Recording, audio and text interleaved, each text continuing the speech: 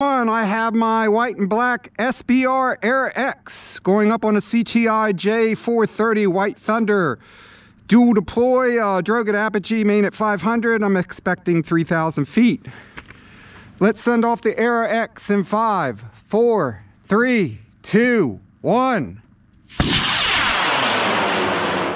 Good boost, nice and straight, no wind.